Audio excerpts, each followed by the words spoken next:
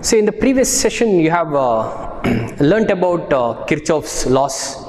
One is uh, current law and other one is a voltage law. Today we'll take up a discussion over one network designed by a person called Wheatstone. It is called Wheatstone's network.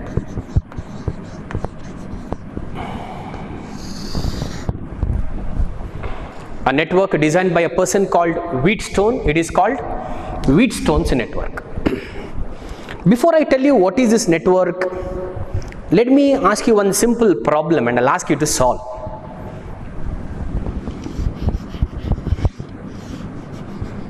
The problem is based on the resistors, combination of resistors.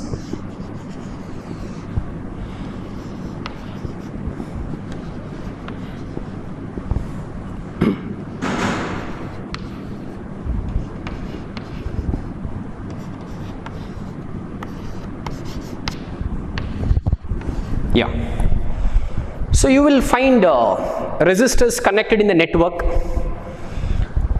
2 ohm, 3 ohm, 10 ohm, 5 ohm, here a 10 ohm. You are asked to find out effective resistance between A and C. You are asked to find out effective resistance between A and C. Of course, if you follow the rules what you learnt in the previous part of this particular chapter solving the equivalent resistance circuit, what you'll do first of all, you will connect a battery across A and B. Wherever you're asked to find out the effective resistance, you are you are asked to connect a battery across those two points. That is the first thing you're supposed to do. Battery should be connected across A and C because you're asked to find out effective resistance between A and C. Okay, now how to solve? Um, okay, I'll make a small change in the numbers. Let us say this is a 2 ohm, this is a 4 ohm, this is a 5 ohm, and this is a 10 ohm. 2 ohm, 4 ohm, 5 ohm, and 10 ohm. And here there is a 10 ohm. Um, can I take 2 and 4 in series? See, you can take a two resistors in series if they are connected end to end. I said here 2 ohm, here 4 ohm, here 5 ohm, and here 10 ohm, and here there is a 10 ohm. You can take two resistors R1 and R2 in series if they are connected end to end. They are in series here. Suppose where they are connected end to end, if you have a one more connection R3, can I take R1 and R2 in series? No. To consider two resistors in series, the condition, the basic condition in a basic method of solving the problem is the two resistors are said to be taken in connected in series if they are connected end to end, provided where they are connected end to end, there should not be any other connection. Means you can't take them in series. If this connection was not there, surely R and R, R1 and R2 would have been taken in series. Correct? Here I am facing the same problem. 2 and 4, they are connected end to end. But where they are connected end to end, there is a one more connection. I am facing a problem. I can't take 2 and 4 in series. It doesn't mean that they are in parallel. Basic idea of solving the network. 5 and 10, connected end to end. But where they are connected end to end, there is a one more connection. So I am having a problem in solving this problem using the earlier knowledge of series and parallel combination. Correct? Remember the numbers what I have written 2 ohm, 4 ohm, 5 ohm, 10 ohm, here 10 ohm and you are asked to find out effective resistance between A and C. I am unable to solve this problem by the usual method of solving the problem based on your earlier knowledge. Problem I am facing is I couldn't take 2 and 4 in series even though they are connected end to end there is a one more connection from that point. I can't take them in series general rule. Correct? up till now whatever you know based on that. Even I, I couldn't take 5 and 10 in series because they are connected end to end. Again where they are connected end to end there is a one more connection. I can't take 5 and 10 in series. I can take 2 and 10 also in series. 2, uh, 2 and 10 in parallel also. You understood what I mean by that. Okay I'll come back to this problem at the end of this discussion.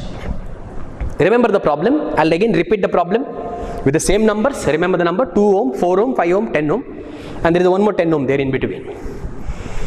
How to solve the problem? We'll see later. Okay.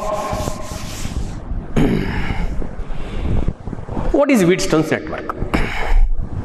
As the name itself suggests, the network was surely designed by a person called Wheatstone.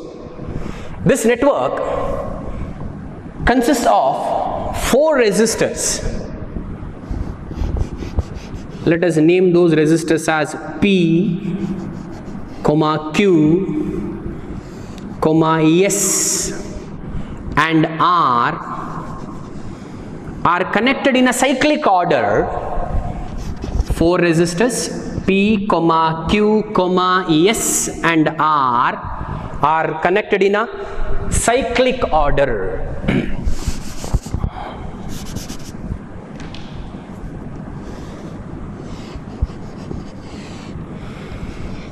Across one of the diagonal, how many diagonals are there? Two diagonals are there, correct? Across one of the diagonal, a galvanometer of resistance G is connected. Across the other diagonal, a cell is connected. I'll repeat.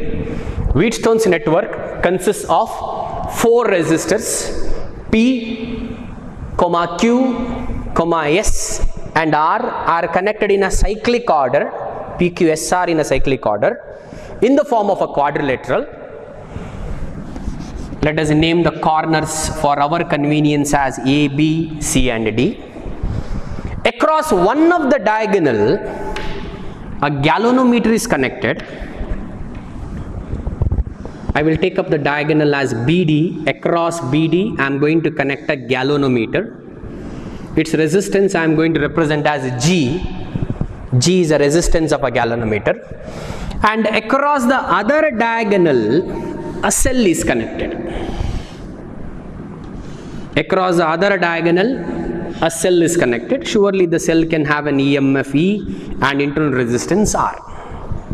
This is Wheatstone's network. Question may be there in your mind, what is a galvanometer? You might have heard about ohmic devices and non-ohmic devices. There you come across ohmic devices are the one which obeys Ohm's law. One of the example for a ohmic device is a galvanometer. Galvanometer is a device used to detect the presence of a current in the circuit. You might have seen this galvanometer in your physics laboratory. The external structure of the galvanometer will look like this. External structure. Internal structure you don't bother now. When the time comes you're going to learn about that also in a separate chapter. See in this, I say I'm talking about external structure of the galvanometer. It is a device used to detect the presence of a current in the circuit. It has got two terminals for a connection, two terminals for the connection. And here there is a pointer, pointer, and there are readings on the galvanometer. There is a zero at the center and there are 30 divisions on either side of the zero. Here they might have written 10, 20, 30. Here also 10, 20, 30 on either side of the zero. I said galvanometer is a device used to detect the presence of a current in the circuit. It has got some resistance because it has got some coil. That's why it has got some resistance. Resistance of a galvanometer I took it as G. If you connect the galvanometer in the circuit where there is a current if the current flows through the galvanometer, pointer in the galvanometer will show deflection to one side. Where is the zero in the galvanometer? See, normally in most of the devices, zero will start from the left side extreme end. And there are some maximum reading at the right hand side extreme end, correct? But in the galvanometer, zero will be at the center. And there are 30 divisions on either side of the zero. This is a pointer. When you include a galvanometer in the circuit where there is a current, when a current flows through a galvanometer, pointer in the galvanometer will show deflection to one side. Means pointer in the galvanometer may deflect to the right side with respect to you. Or pointer in the galvanometer deflect to the left side. which side it deflects depends upon the direction of the conventional current. Suppose if i if the pointer in the galvanometer deflects to right side means conventional current is in one direction. If the pointer in the galvanometer deflects to the opposite side means conventional current will be in the opposite direction. Deflection is more means more current. Deflection is less means less current. Understood? Okay. This galvanometer is connected here. And the cell you already know. It has got emf it has got internal resistance everything i marked. This is wheatstone's network see if they ask in the exam exam what is wheatstone's network? You just describe like this. Wheatstone's network consists of four resistors. P comma q comma s and r are connected in a cyclic order in the form of a quadrilateral. Across one diagonal galvanometer of resistance g is connected. G is a representation of a resistance of a galvanometer. And across the other diagonal AC is other diagonal, cell is connected. So when I say across the other diagonal, don't expect the cell should be connected here only. Across the diagonal points, it is connected. Even galvanometer can be kept outside also. Clear? This is Wheatstone's network. okay, now what I am going to explain is a possible 5 marks question in your board exams. What is the question will frame at the end? For a time being, you keep in mind that we are talking something more about Wheatstone's network. That's all. if I switch on the battery, don't you expect some current? Fine. Let us say current in the circuit is I. This is the main current. You might have heard about this technical word main current, branch currents, right? Okay. This is a current I. Here, if the current is I means throughout current should be I only, no? throughout current should be I here because as long as it is a single branch current should be same that means here current should be I only what is the direction of that current should be same okay now you think what do you call this A technically? Don't you think A can be called as a junction? It is something like main road divides into two sub roads if it is a single road we don't call it as a junction. When you are moving in a path then you find two different path. After that means we, you have reached a junction which is also called as a node a technical term. Node or a junction. I can call a as a node at a node or a junction can i expect that i will divide into a two branches i1 through p and i2 through r let us assume that current through P is I1, current through R is I2. Again B is a node. B is again a node. Forget about I2 for a timing. Let it flow through R. We'll come back to it later. I1 is a current flowing through P. Let us say at B, which is a node, let us assume that this I1 divides into branches. Out of I1, let us say IG is flowing through the galvanometer out of I1, IG is flowing through the galvanometer. What is the remaining current out of I1? Obviously, it is I1 minus IG. Out of I1, if IG is flowing through the galvanometer, remaining current, there is no other option. It has to flow through a resistor Q only. Current flowing through Q is I1 minus IG. Okay, let that I1 minus IG, let it flow through Q. Let IG flowing through the galvanometer. Now come back to this I2. I2 is a current flowing through a resistor R. Can I call it D as a junction again or a node? Do you expect I2 being divided into two part, one through the galvanometer and one through a resistor? Cannot. If you say again I2 is divided into two parts here, one through the galvanometer and one through a resistor, there is no sense here. See, what you find is in this particular branch B to D, there is a current from B to D also, there is a current from D to B also. There is no sense in saying like that. What is the condition for a current? There should be a conducting path and there should be a potential difference. If you are expecting a current from B to D, current in the part B to D, there should be a conducting path between B and D. That is there. Conducting path is there between B and D. And which is the one more condition for the current? There should be a potential difference. If any one of the condition is missing out of the two can you have a current? No. Can you have a flow of charges? No.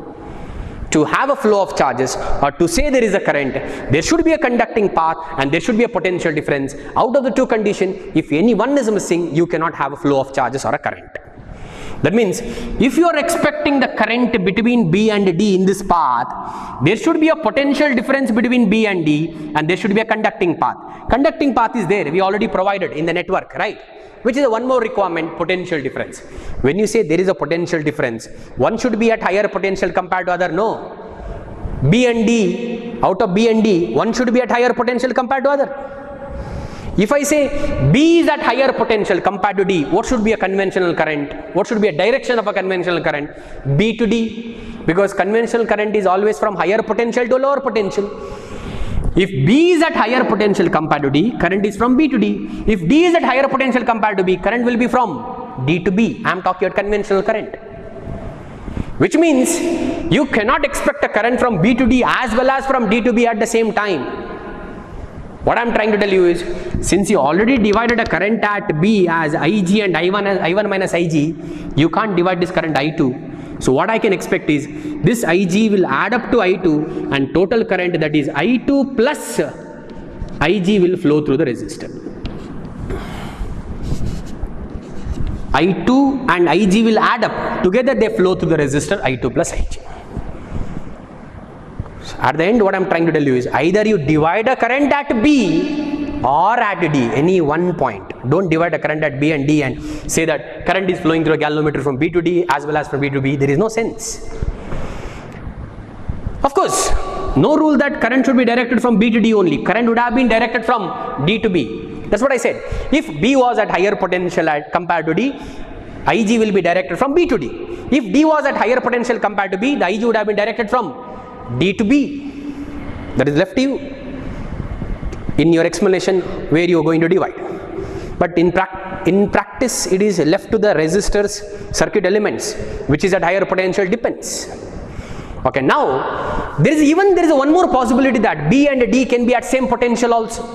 If B and D are at same potential, can you have a current through the galvanometer? No, that is what I said. To have a current, you have to satisfy the two conditions. There should be a conducting path and there should be a potential difference.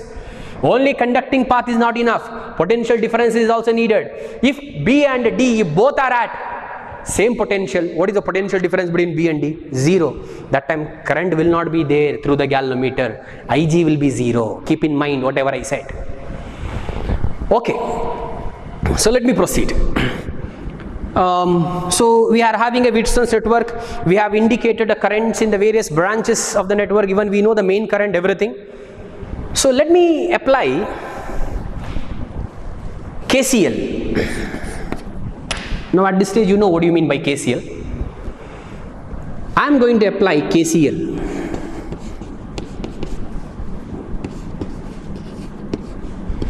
to a node A. At the same time, I will apply KCL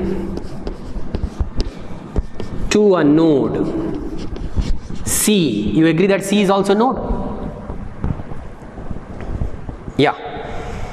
I told you the simple approach of applying KCL is remembering the Kirchhoff's law in a simple manner is sum of the current entering the node is equal to sum of the current leaving the node. Look at the node A. Which are the current entering the node?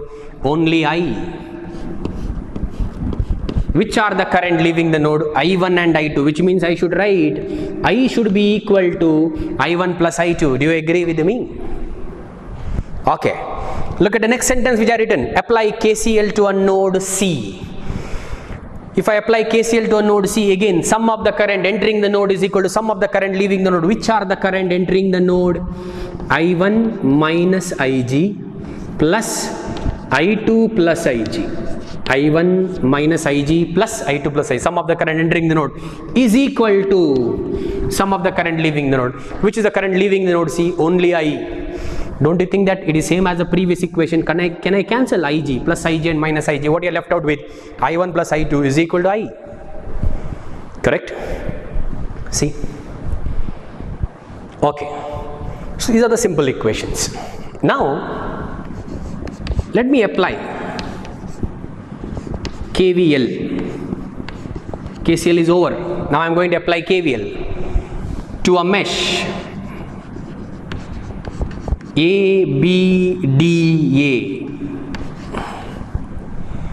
I'm applying KVL to a mesh ABDA. I will draw the direction of a traverse according to a mesh which I selected A to B, B to D, D to A.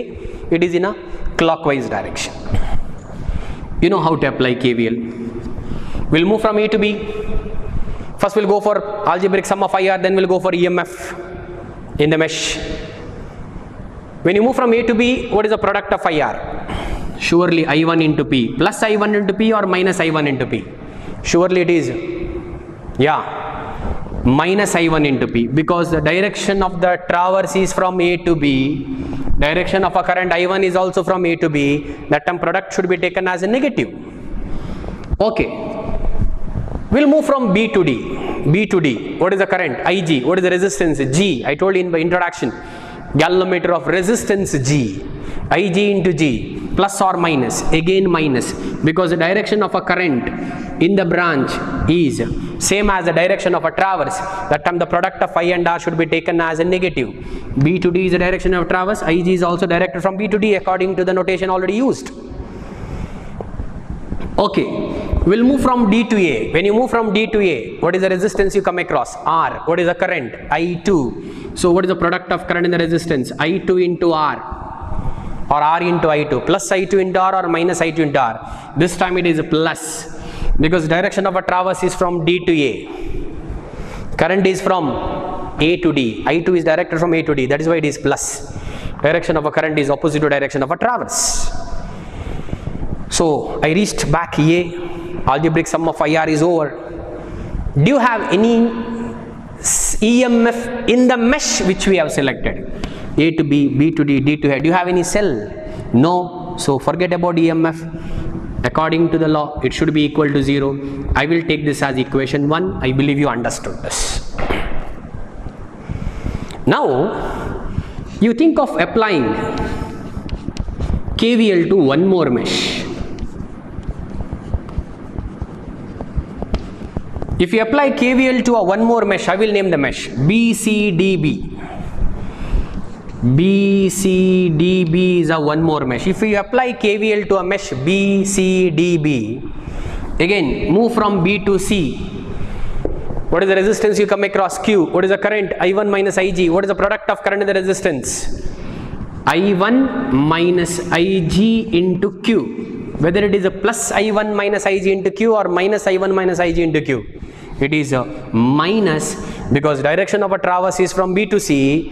Direction of a current is also from B to C. That is why it is negative. Okay, I reached C. Now I'll move from C to D in the direction of a traverse. C to D. What is the current? I2 plus IG. What is the resistance? S. Which means equation should be I2 plus IG into S. What do you think? This product should be negative or positive? It is positive because direction of a current is from D to C, but direction of a traverse is from C to D. So it is plus. Whenever the direction of a current in the branch is opposite to direction of a traverse, then the product of IR is taken as positive. That was the sign convention. Let me proceed. Move from D to B. What is the resistance you come across? Resistance of a galvanometer G. What is the current? IG. What is the product of current and the resistance? IG into G. What do you think? Answer is plus IG into G or minus IG into G. It is again plus because direction of a traverse is from D to B. Direction of a traverse is from D to B, but the direction of a IG is from B to D. So it should be plus. So I reached B. Algebraic sum of IR is over in the mesh. In the same mesh, do you find any cell? Of course, cell is there in the circuit, but in the mesh which you are applying, where, for, where you are applying KVL, do you find any cell in that? No. What is the EMF there? Zero. It is equal to zero. This is equal to zero according to the KVL. So this is equation two. I hope you followed. Okay. Now, coming to the main point. According to Wheatstone, network was designed by network was designed by Wheatstone, no? Network was designed by Wheatstone, right? So according to Wheatstone, what he says is the network designed by him is said to be balanced. The network is said to be balanced.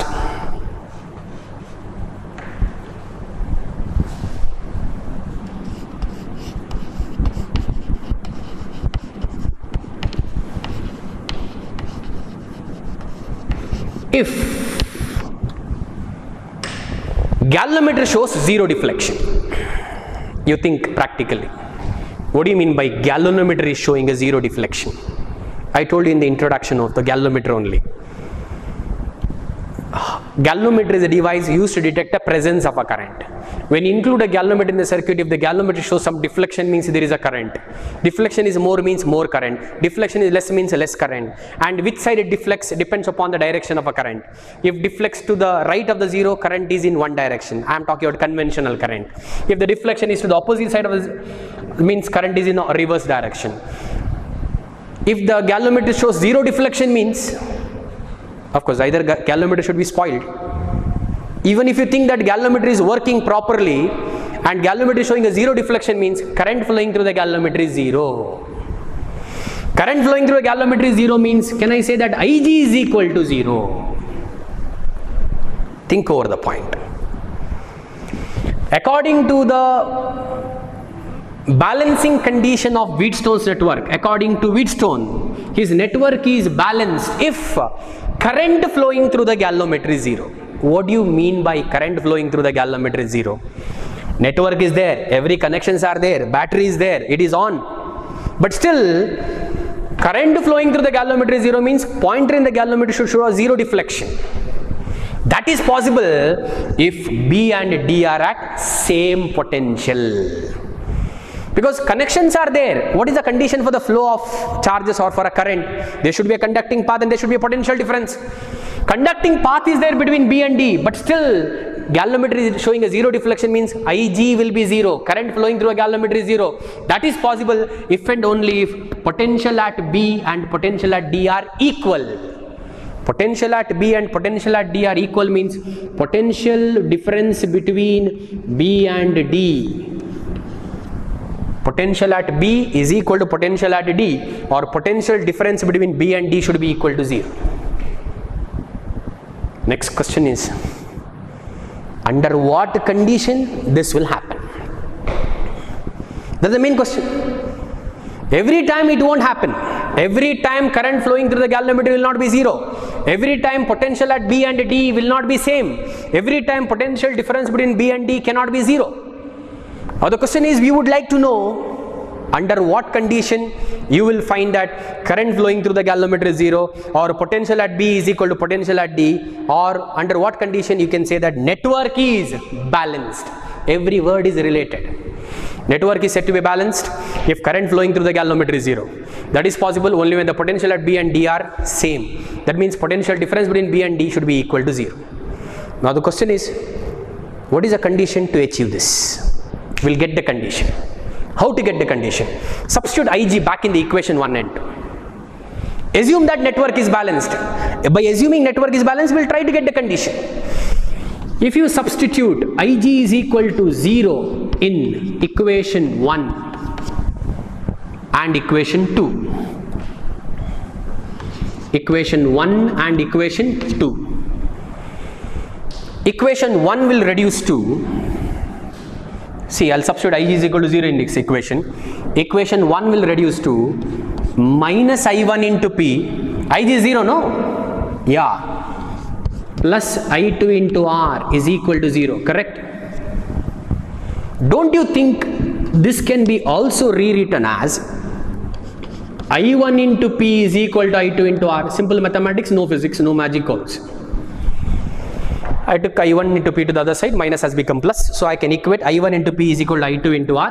I will take this as equation 4. In equation 1, I substitute I is equal to 0, I got equation 3. See here. Now I am going to substitute I is equal to 0 in equation 2. Had to substitute Ig is equal to 0 in equation 1 and 2. Our, our main aim is to know under what condition you will find that this network is balanced. Network is balanced means remember current flowing through a galvanometer is 0 or potential at B and D are equal or potential difference between B and D should be 0. If I substitute Ig is equal to 0 in equation 2, Ig is 0, so equation 2 will reduce to, I think you are able to follow, minus I1 into Q, Ig is 0, yeah, plus I2 into S, again Ig is 0, plus I2 into S, this is again 0, that should, that should be equal to 0, which implies I can rewrite the last equation as I1 into Q is equal to I2 into S. Mathematically allowed. Concentrate on equation 3 and equation 4. Just look at equation 3 and 4. I'll continue here few steps. Just divide equation 3 by equation 4. If you divide equation 3 by equation 4, left hand side will be I1 into P by I1 into Q is equal to right hand side will be I2 into R divided by I2 into S. Can I cancel I1? Can I cancel I2? You are left out with P by Q is equal to R by S. P by Q will be equal to R by S. This is a balancing condition for Wheatstone's network. If this condition is satisfied, we say Wheatstone's network is balanced. What is the meaning of that equation? I will tell you. Wait for some more time. Don't you think P by Q is equal to R by S means it can be also written as Q by P is equal to S by R P by Q is equal to R by S means reciprocal should be also equal. No. What is the reciprocal of this Q by P? It should be equal to reciprocal of the R by S. That is S by R. Mathematically thinking, don't you think I can interchange the position of a Q and R and I can write it as P by R is equal to Q by S. I brought Q here to the numerator and I brought R to the denominator here. P, Q, P by R is equal to Q by S.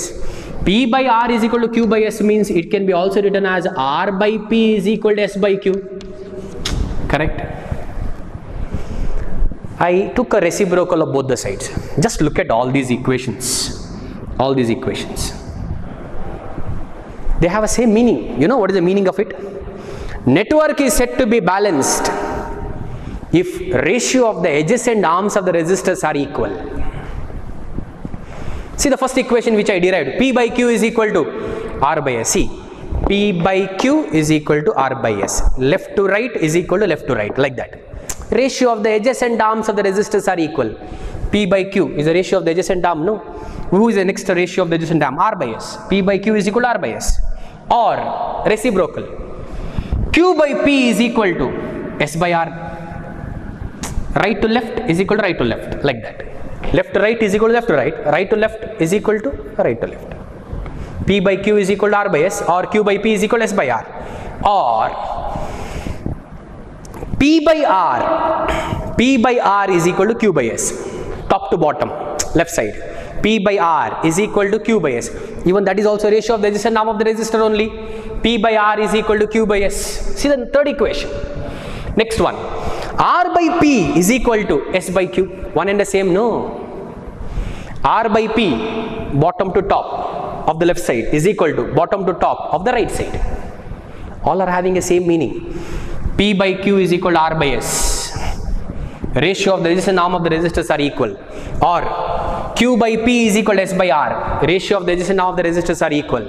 Or which is the next one P by R is equal to Q by S. Ratio of the adjacent now of the resistors are equal. I hope you understood this. The last one, R by P is equal to S, S by Q. So conclusion is, we can conclude that based on this discussion. Of course, you can stop your answer here. You need not explain all these equations.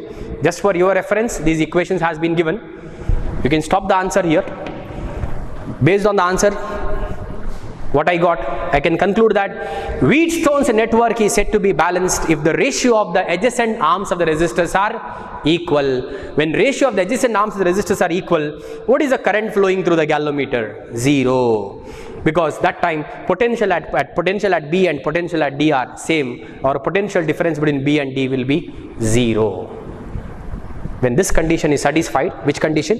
When the ratio of the adjacent arms of the resistors are equal, the network is balanced, that time current flowing through the galvanometer is zero, that time potential at B and D are equal or potential difference between B and D is equal to zero. Now the possible 5 marks question here is, what is Wheatstone's network and derive the balancing condition for Wheatstone's network. I said this is a possible, very important, commonly asked 5 marks question. what is Wheatstone's network and uh, derive the balancing condition for Wheatstone's network. You have to write up till here starting from this circuit diagram. Have explain what is Wheatstone network as I what I told you. Then these equations KCL to the two node. Cal this diagram is not required just for your reference I explained. KVL equation 1 equation 2 then writing network is balanced. If Ig is equal to 0 then substituting i is equal to 0 in equation 1 and 2 you will get equation 3 and 4 just divide 3 by 4 this is the answer. So it's a commonly asked question for 5 marks from this particular topic. Now i think uh, once you understand this you can solve that problem which i started the topic.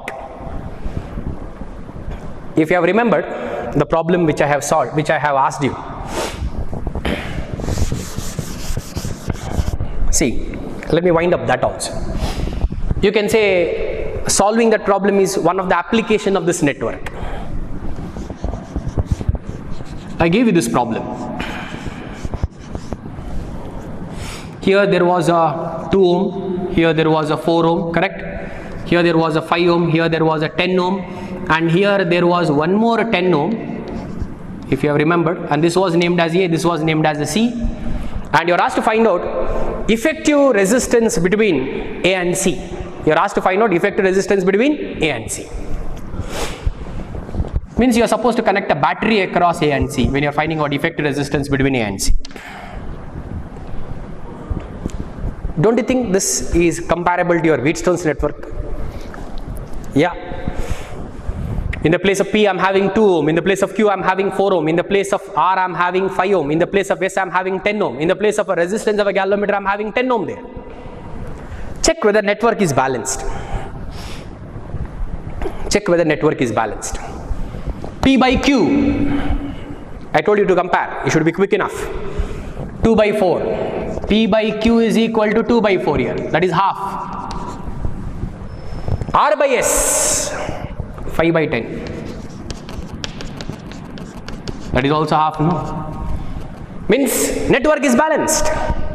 When the network is balanced you know in the position of a galvanometer in the network i'm having 10 ohm here. Network is balanced you know do you expect any current flowing through 10 ohm now? No. There is no current flowing through 10 ohm Ig is 0, no? If I refer the earlier network, if I say here I, here I1, here I2, are you listening? Here I1, here I2, and here Ig will be 0. Network is balanced. When the network is balanced, Ig will be equal to 0, correct? Means in the pleasant, in the place of a galvanometer, I am having a 10 ohm resistor, means there is no current flowing through it. That means this point and this point both are at same potential, which means there is no use of a 10 ohm. You connect a 10 ohm 100 ohm 1000 ohm doesn't make any difference. Because b and d are at same potential there won't be a current flowing through 10 ohm. Better to ignore that 10 ohm no. You connect 10 ohm instead of 10 ohm you connect 100 ohm you connect 1000 ohm. Doesn't make any difference in the circuit because network is balanced. There won't be a current flowing through this part better to remove that. This is i1 what is the current flowing through this? I1 only because ig is 0 network is balanced. Ig 0 means what is the current flowing through this? I1 only. This is i2 what is the current flowing through 10 ohm? I2 only. Because in the original circuit it is i2 plus ig network is balanced. Ig 0 what is the current flowing through this? I2 here i1 here i1 means they are connected in series no? When the current is same obviously they are connected in series. So 2 and 4 are in series. Next. 5 and 10 are in series. I hope you understood this 2 and 4 are in series. 5 and 10 are in series. When 2 and 4 are in series what is the effective resistance? 6 ohm. You understood why i can take them in series? Okay now forget about your original what you learnt. Now this is a special case. Even though there was a 10 ohm resistor but there is no effect of 10 ohm you found right? So i can remove that 10 ohm so what you find is here and here current is same means they are connected in series. 4 and 2 are in series means answer is 6 ohm. How this 5 and 10 are connected is series. What is effect resistance? 15 ohm. How 6 and 15 are connected? Parallel. Can't you solve now? I'll leave it to you, you have to complete this. I hope you followed this. So when 6 and 15 are in parallel, 2 and 4 are in series, answer is 6 ohm. I can replace 2 and 4 by a single resistor value 6 ohm. I can replace 5 and 10 by a single resistor value 15 ohm. How 6 and 15 ohm are connected? Obviously they are connected in parallel between A and C here, right? How to find out effective resistance? 6 into 15 RP. R1 R2 by R1 plus R2. 6 into 15 by 6 plus 15. This is how do you write the answer. I hope you followed this. That simplification you do it. This is how you have to take. Remember, this method is applicable only when the network is balanced. P by Q should be equal to R by S. Then only you can ignore the 10 ohm. Now next question may arise in your mind. If it is not balanced, if the network is not balanced, you can't go for this. Instead of 4 ohm, if I had 3 ohm, 2 ohm, 3 ohm, 5 ohm, 10 ohm, 2 by 3 is obviously not equal to 5 by 10. No. That time I can't go for this method. This method is applicable only when the network is balanced. If the network is not balanced, how to solve? That question may be there in your mind. Of course, there are methods. There is some method, one particular method called star to delta conversion, delta to star conversion, which you can learn in your competitive level classes. That is not required for your board session. If the network is not balanced, how to solve such circuit? That can be solved by using a method called delta to star conversion and star to delta conversion. That is a method. There is a one particular method that you have to learn. After learning the method, you can solve that circuit with, where network is not balanced. I gave a simple case when the network is balanced, how to solve it. I hope you understood this. Yeah. So I think the idea about Wheatstone network is clear. So next we'll proceed further with applications part of Wheatstone's network. Next we'll proceed further with application part of Wheatstone's network. So we have seen a balancing condition for a Wheatstone's network. So there are some important point to be uh, highlighted related to that uh, balanced network. When network is balanced,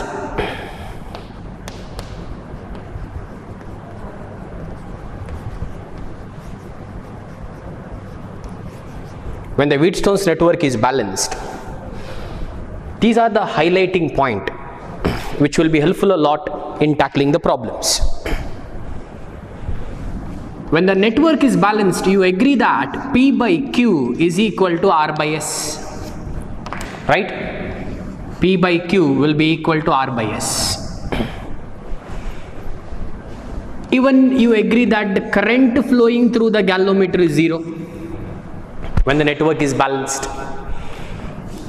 Now, under this condition of balanced Wheatstone's network, if I asked with you what is a potential difference across P, what is a potential difference across Q, what is a potential difference across R, and what is a potential difference across S? Potential difference can be given as a product of current and the resistance using a mathematical form of Ohm's law. You know when the network is balanced, Ig will be 0, keep in mind. What is a potential drop across P? It is I1 into P. What is a potential drop across Q? It will be I1 into Q. Ig will be 0. What is the potential difference across R? It will be I2 into R. What is the potential difference across S? It will be I2 into S because that time Ig is 0.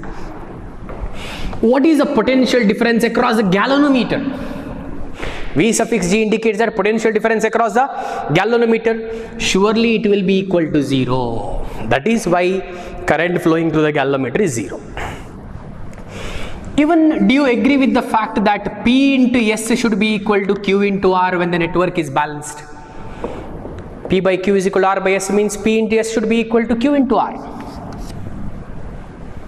And also, if I asked you to find out equivalent resistance between A and C in the balanced network, equivalent resistance between A and C. Now you should be able to answer because uh, I have explained you one problem when the network is balanced how to find out effective resistance between the two points A and C. I have already explained it. Now you should be able to answer this question.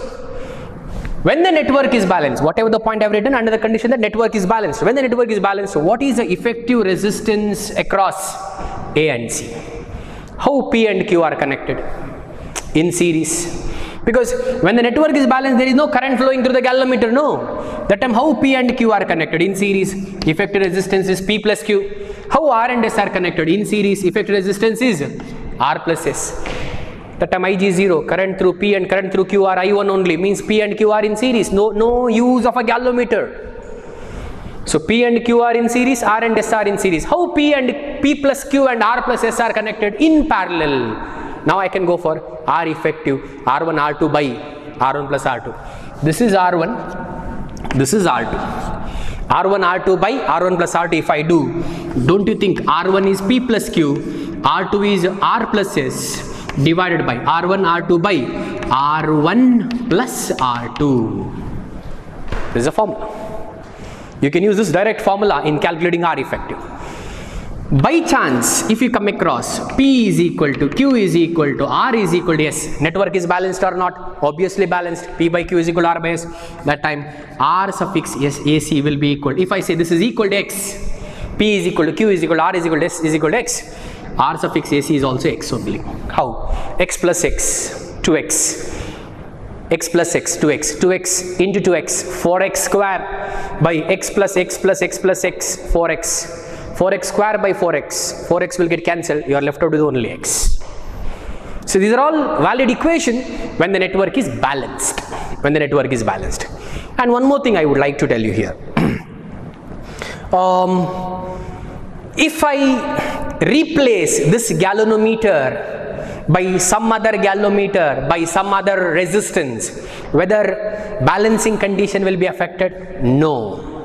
Because balancing condition will not involve a resistance of a galvanometer at all.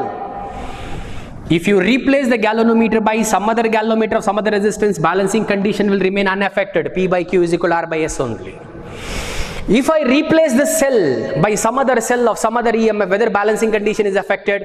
No, not at all. If you replace the cell by some other cell of some other EMF, balancing condition will not be affected at all. Because balancing condition will not contain a EMF of the cell, B by Q is equal to R by S, it will remain as it is. So balancing condition is unaffected. If I replace the galvanometer by some other galvanometer of some other resistance, balancing condition unaffected. If I replace the cell by some other cell of some other EMF.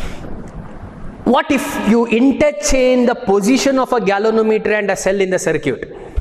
Like instead of connecting a galvanometer across BD, instead of connecting a cell across A and C, interchange their position means connect a cell across B and D, connect a galvanometer across A and C. Means it should be like this.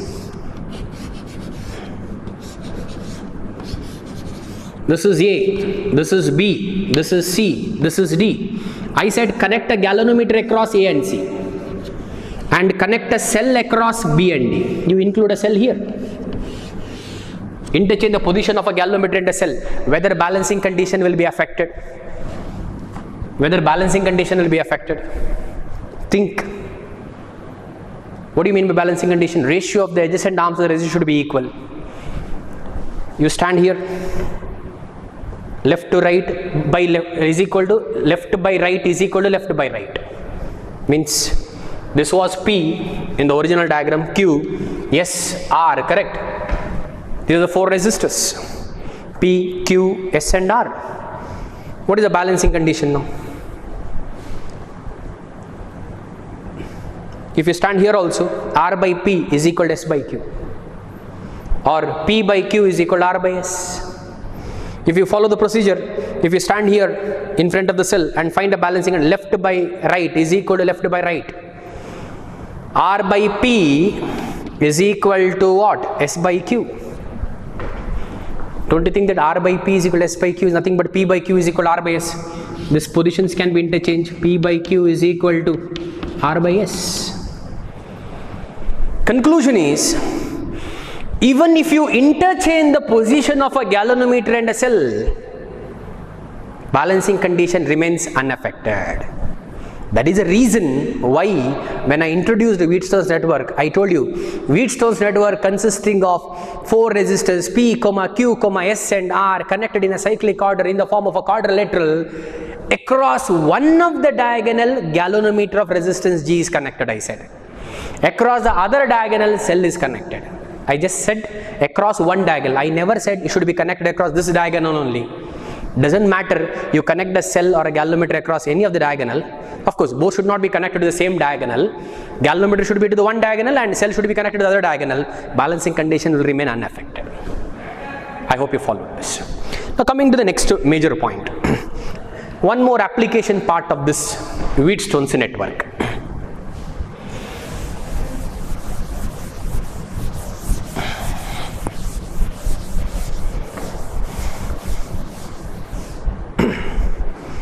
There is an instrument called meter bridge.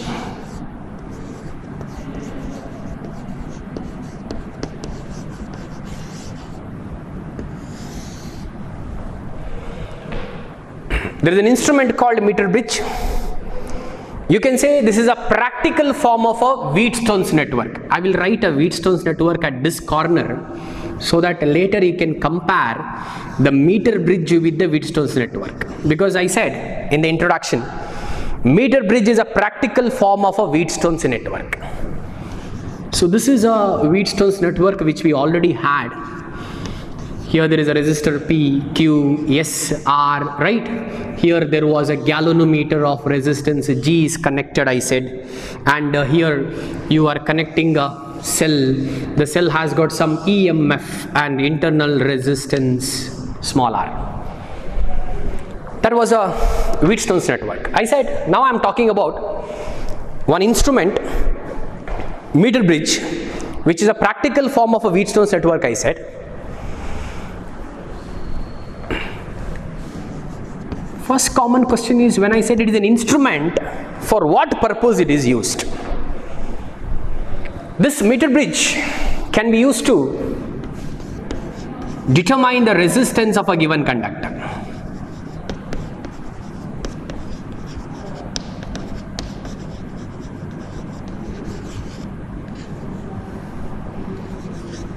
The resistance of a given conductor can be determined using a meter bridge. See, before I proceed further, for your kind information, this year, when you are performing a physics practicals in a physics lab, there are two experiments which you are going to perform using this instrument called meter bridge. So listen carefully, helpful a lot when you are performing the experiments also. I said, this year in a physics practicals, there are two experiments which are going to perform using an instrument called meter bridge. Maybe in the introduction to this particular topic, sir might have already told you.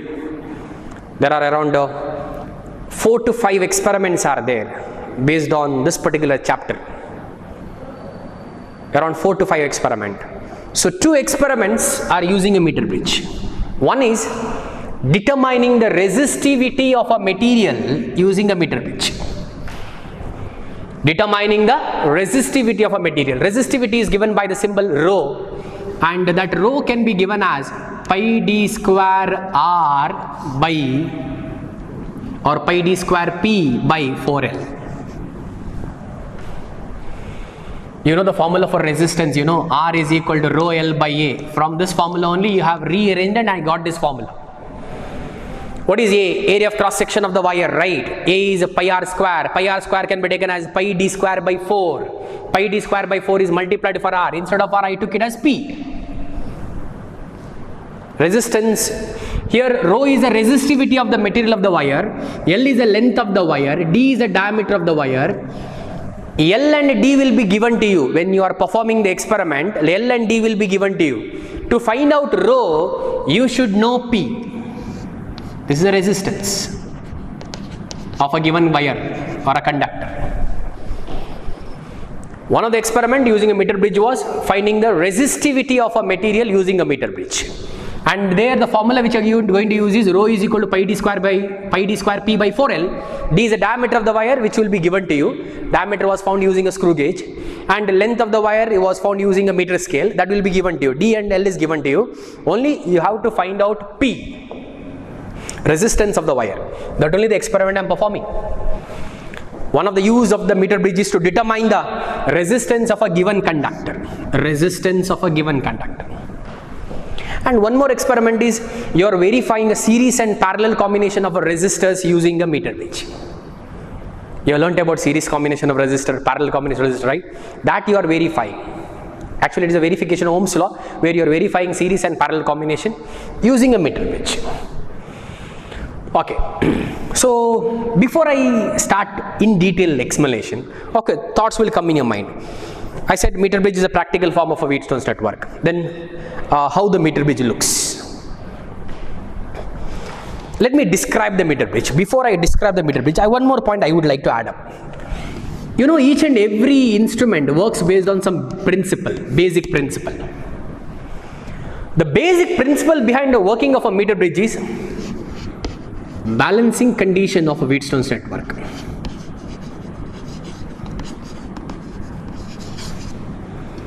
Balancing condition of Wheatstone's network. This is a basic principle. How you will come to know? Step by step we'll proceed. Let me start describing what is a meter bridge. I'm talking about description now.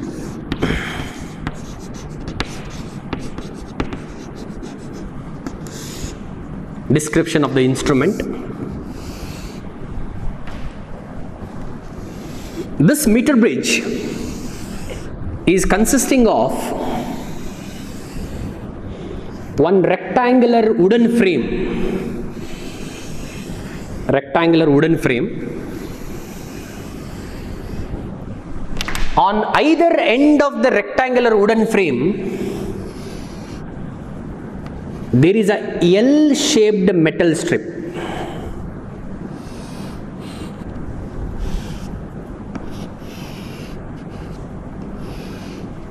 This is a one L shaped metal strip at one end of the meter bridge. Metal strips have a negligible resistance just like your copper wire. And one more L shaped metal strip is at the other end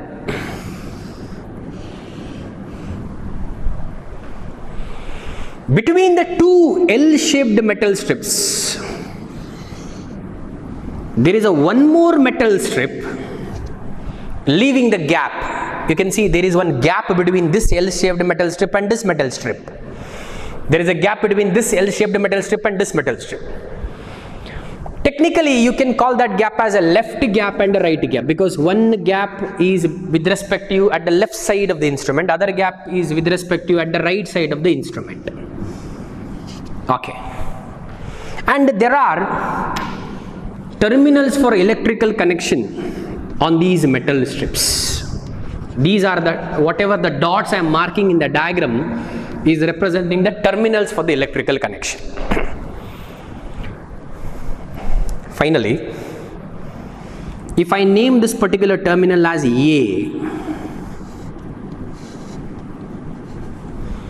if I name this particular terminal as B on the metal strip, sorry, we'll compare it and uh, we'll do the discussion. I'll change the naming. We'll name this point as C instead of B, we'll take it as C between A and C, those two terminal, there is a wire of uniform thickness and of length 100 centimeter or 1 meter is fixed between A and C. And this wire I said it is a uniform wire. Uniform wire in the sense throughout the length of the wire throughout the length of the wire thickness is same. This wire is not made up of a single metal not like a, a copper wire or aluminum wire. This wire is an alloy. You know alloys are mixture of metals. These alloys are mixture of metals. And uh, preferably the alloys used are constantan alloy is a mixture of a metal. The alloy preferred are constantan or mic nichrome or manganin nichrome or manganin such alloys are preferred here Um, what is the difference between alloy and a conductor? You must single conductor you must be knowing. Resistivity of alloys are much greater than single conductors like copper and aluminium. And um, not only resistivity, the, if you think about TCR, temperature coefficient of a resistance of these alloys are very low. Means their resistance do not vary much with the temperature. Resistivity is high, rho is very high for these alloys and alpha is very low. Alpha is very low means resistivity, uh, resistance of these alloys do not vary much with the temperature. And uh, this length of 1 meter has got a very high resistance, nearly around 100 ohm resistance they may have. Okay, this is a meter bridge. When I say only this is a meter bridge, next question is where there is a comparison with the Wheatstone's network. Uh, you, you will ask a question. You have told us in the beginning that meter bridge is a practical form of a Wheatstone network. There is no comparison at all. In a Wheatstone network, there are four resistors, cell, galvanometer, everything is there. Nothing is there in this. Meter bridge as an instrument is only this much. You will get exact comparison when you use the meter bridge for this particular experiment. When you use a meter bridge for this particular experiment, you will get exact comparison. Okay, before I proceed further, recall once again whatever the description I gave for a meter bridge. I said meter bridge is consisting of a rectangular wooden uh, wooden frame, rectangular wooden frame. On this wooden frame, on either end there is a two L-shaped metal strips, two L-shaped metal strips, and uh, between the two L-shaped metal strip there are there is a one more metal strip leaving the two gap, one at the left gap and other at the right gap and whatever the dots I have marked here they are representing the terminal in the meter bridge and uh, I have named this particular terminal as A and that particular terminal as C. Between A and C there is a, a wire of uniform thickness made up of alloy is fixed. Alloy is preferably a constantan or a nichrome or a manganese nitride and uh, even I said uh, compared to a single metal they have a high resistivity but low TCR. Okay. Now let us perform an experiment so that you will get a exact comparison with the Wheatstone's network. a conductor, a conductor whose resistance has to be found, you have to connect across the left gap of the meter bridge. I'll repeat, I said a conductor whose resistance has to be determined is connected across the left gap of the meter bridge. I will represent that conductor by the resistance symbol here. If that conductor will have a two ends using a connecting wire, you connect that, those two ends to the left gap of a meter bridge. Connecting wires are copper wire. This is a conductor whose resistance has to be found. And I will represent the resistance of the conductor by the symbol P, which is not known to you. P is unknown. Please remember, P is unknown. That only you have to find out. Across the right gap, you have to connect a resistance box. A standard resistance box it has got a two terminals. The one end of a resistance box is connected to the one terminal in the right gap and other end of the resistance box with the help of a connecting wire is connected to the other terminal in the right gap. Resistance box is a a standard resistance box where you can keep some standard resistance during the performance of the experiment Whatever the resistance you keep in the resistance box, I am going to represent as a Q. P is assumed to be as a resistance of a given conductor which is not known to you. Q will be known to you. During the experiment, you will keep some resistance in the resistance box. It will be known to you. P is unknown. So left gap, right gap connection is over. Then, from this terminal, the middle terminal in this metal strip. Connections are taken using a copper wire. Other end of the copper wire is connected to a galvanometer. That time I told you what is a galvanometer. Yeah. Uh, in the galvanometer is a device used to detect the presence of a current in the circuit. So whenever the galvanometer is there in the circuit, if it shows some deflection, there is a current. And you know in the galvanometer 0 is at the center. There will be a 30 division deflections on either side of the galvanometer. Just for your reference, I'm redrawing it again. This is a galvanometer. There are two terminals and there is a pointer. Pointer will be reading 0 at the center and there will be 30 divisions on either side. So wire is taken from this particular terminal connected to the one of the terminal in the galvanometer and other end of the galvanometer other end of the galvanometer again connections are taken using a copper wire it is connected to sliding contact.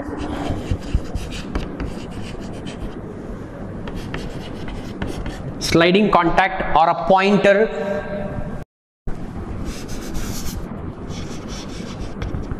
Sliding contact or a pointer or we also call it as a joystick key. In a short form we call it as a jockey. Sliding contact or a pointer or a joystick key. In a short form we call it as a jockey. See it is actually a metal contact. It is somewhat like uh, almost of this size. It is a metal contact. One end there is a terminal for a connection. Other end is a pointed end. Entire thing is metal. One end there is a knob. When turn the knob keep the copper wire tighten it. That is a connection from the galvanometer. Other end is a pointed end and uh, entire thing is metal. It is covered by insulator so that you can comfortably hold that sliding contact. Otherwise you may get a shock. So this end is a metallic one. This tip is a metallic. Entire thing is a metal but it is covered by insulator so that you can easily handle this sliding contact. Okay? Last connection last part from a take one wire again copper wire. That is connected to the positive terminal of the battery or a voltage source or a cell. Negative of the battery is connected to c. Negative of the cell is connected to c point c. Now see I will name some additional points. You just use your common sense if I say this point is A if I name that particular point as A what about this point? Should be A only. What about this point? Should be A only because all these points are on the same metal strip correct? Since all these points are on the same metal strip when this is A obviously this should be also A only. When this is C can I say even this is also C only because all the points are on the same metal strip I'll repeat again. When this is A even this is also A even this is also A. This is all, all these points are on the same metal strip. Metal strips are having a negligible resistance I said. Similarly when this is C even this point should be also C. This is also C because all these terminals are on the same metal strip. Metal strips are having a negligible resistance. Similarly if I name this point as B don't you think even this is also B? Even this is also B? Because all these three terminals are on the same metal strip metal strips are having a negligible resistance so all will be at same potential same points. Now you do the comparison. When I gave a description of a meter bridge you had a doubt no? Where it is comparable to a Wheatstone's network? Now you get at least 90% of the at least 85 to 90% comparison. See A to B who is connected? P. See, this is over. A to B, P. B to C, who is connected? Q. It is a resistance box. You're going to keep some resistance in the resistance box. See, B to C, Q. Then B to the galvanometer, there is a connection. B to the galvanometer, there is a connection. Correct? Then A to the positive of the battery and negative of the battery to the C, even that is also there. A to the positive of the battery, negative of the battery to the C, even that is also over. At least 80%, 90, 80% comparison you got with the Wheatstone's network. Remaining is, what is missing? G to D, A to D, C to D is missing, correct? That 100% comparison you will get when you perform and complete the experiment. What is the experiment? Go back. What is the use of the instrument I said? It is used to determine the resistance of a given conductor, correct? Yeah. And what is the basic principle I said? Balancing condition of Wheatstone network. Balancing condition is ratio of the adjacent arms of the resistors are equal. P by Q is equal to R by S. Remember that point. Okay. Now I am performing the experiment. See how to perform an experiment. You have to keep some resistance in the resistance box Q. You have to unplug or you have to keep some resistance in the resistance box Q. Keep some resistance resistance box Q. Of course, there is a rule you have to follow in keeping the resistance in the resistance box. I'll tell you. what is the rule you are supposed to follow. Now, for a time being, assume that this is 5 ohm. You kept a resistance in the resistance box as 5 ohm.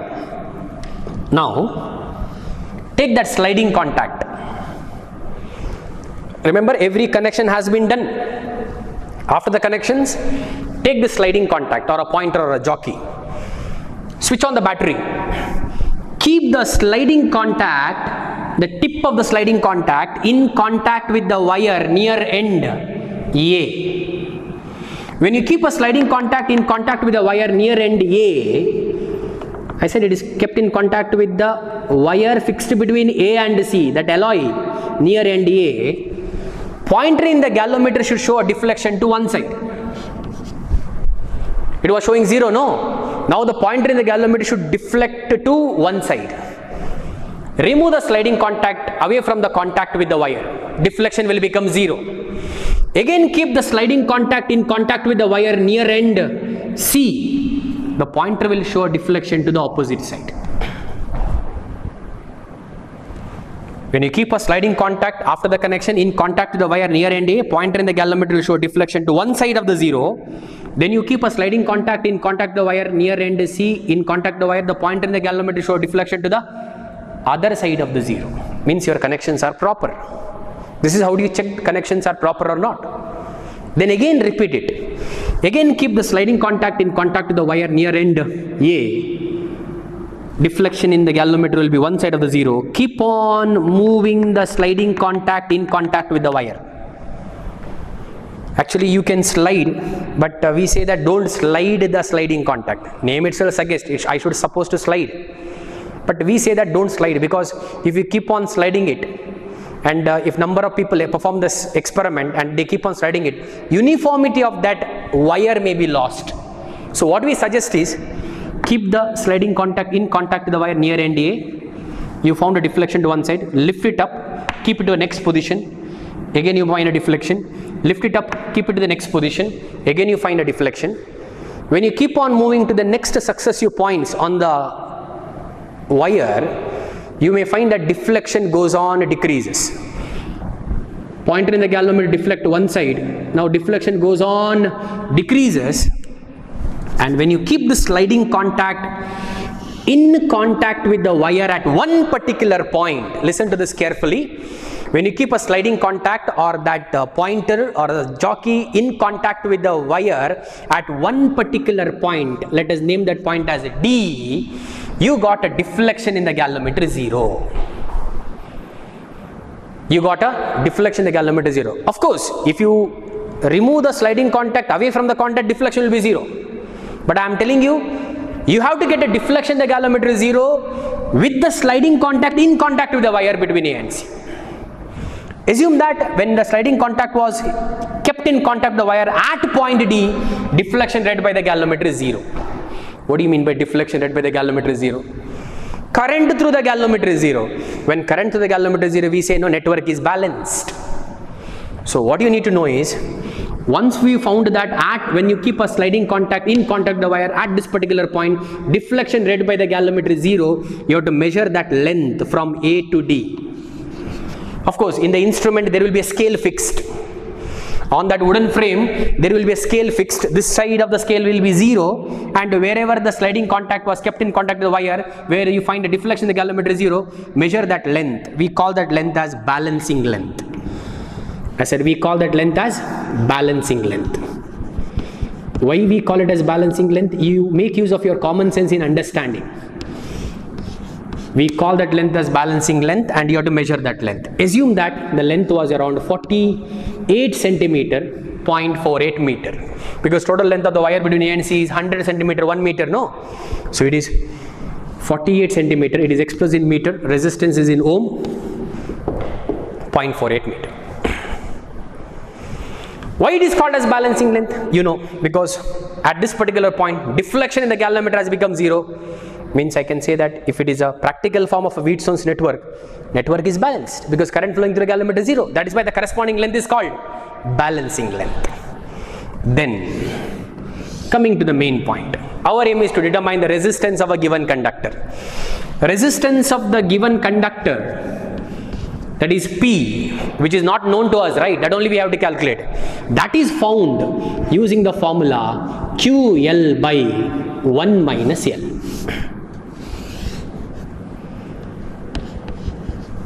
Resistance is found using the formula QL by 1 minus L. Now I have to explain the formula, why this formula. That is actually the important thing to be followed.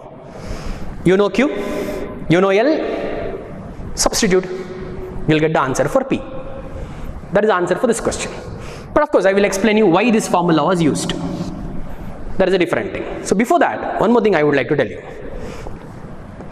I said in the beginning you have to keep some resistance in the resistance box 5 ohm. But in keeping the resistance also you have to follow rule. Actually what we say is you have to keep on adjusting Q till you get a balancing length between 40 centimeter to 60 centimeter. What is the total length of the wire between A and C? 100 centimeter. You have to adjust the value of Q in the standard resistance box. Keep some value of Q. You have to keep that value of a Q so that the balancing length what you get should be between 40 centimeter to 60 centimeter. Reason is if you take a readings with the balancing length between 40 centimeter to 60 centimeter, readings are more accurate, errors are less, minimum. Readings will be more accurate and errors are minimum. That is why we suggest that. If the balancing length is obtained between 40 to 60 centimeter, then the readings are more accurate. Since because that only, you have to adjust the value of Q so that you get the balancing length between 40 to 60 centimeter. There is a rule to be followed. Okay, to minimize error. Now coming to this point, why this formula? When the sliding contact was in contact with the wire at D, I said uh, deflection the galvanometer has become 0. Now you have to measure the length that is called balancing length. If this is L, what is the remaining length tell me? A to D is L. What is D to C? Surely 1 minus L. Surely 1 minus L. Where L is in meter. Total length of the wire is 1 meter. No, L is in meter. If this is L meter means remaining is 1 minus L. Now you got 100% comparison with a meter bridge. I mean Wheatstone's network. You got 100 100% comparison of a meter bridge with a Wheatstone's network. How? See. Galvanometer to D connection is there. Correct? Who else was missing? A to D and D to C, right? A to D. Don't you think A to D there is a alloy of length L? That alloy of length L surely has got some resistance. Correct? So that means that R will be the resistance of the alloy of length L. Don't you think D to C also an alloy of length 1 minus L? Even that also has got some resistance. Correct? That S will be the resistance of that part of the alloy. R is the resistance of this part of the alloy of length L. S is the resistance of this part of the alloy of length 1 minus L. See, you got 100% comparison. Since network is balanced, I have to go for this formula, right? P by network is balanced. I have to go for a formula. P by Q is equal to R by S.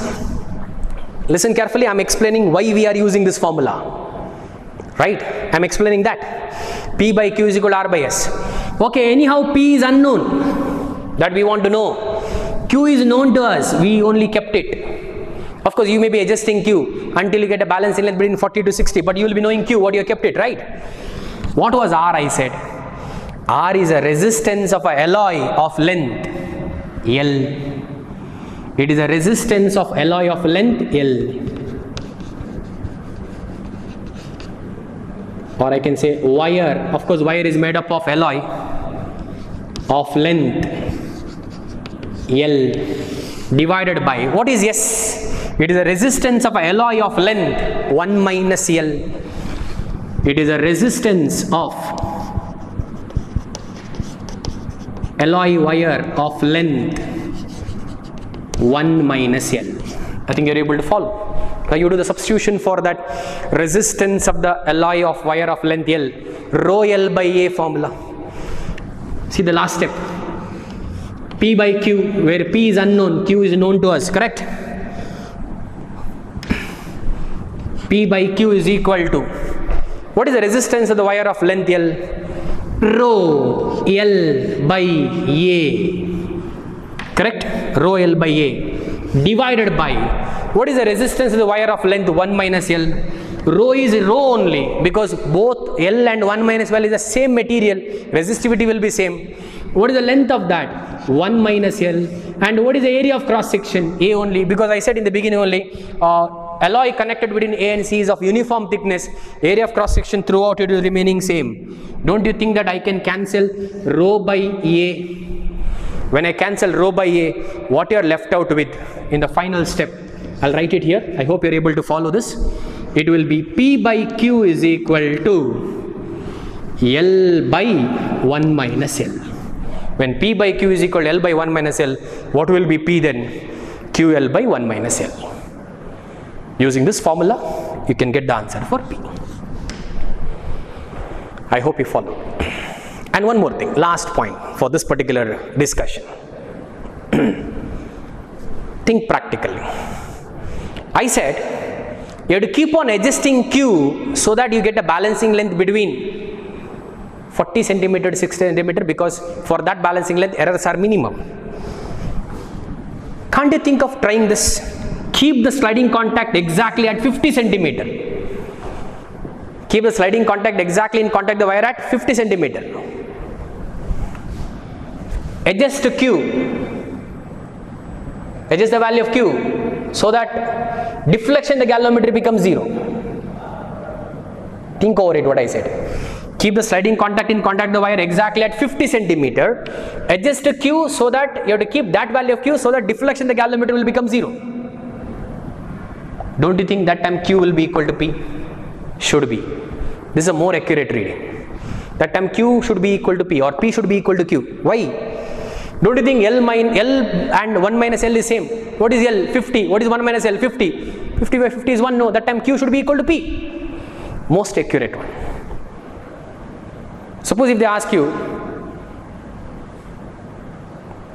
in a meter bridge experiment, balancing length was found to be 50 centimeter. What is the conclusion? Resistance kept in the resistance box and that unknown resistance which is connected in the left gap are of same resistance. That is the meaning. P must be equal to Q if balancing length is 50 centimeter. I think you understood. So remember this, helpful a lot, especially when you are performing the experiment. I said there are two experiments you're going to perform with the meter bridge. In both the experiments, method of performing experiment is same. You have to keep some resistance the resistance box, Q, then you have to find out the balancing length and the rule is that you have to adjust the Q so that the balancing length should be between 40 to 60. Then the resistance can be found using the formula QL by 1 minus L. That's all.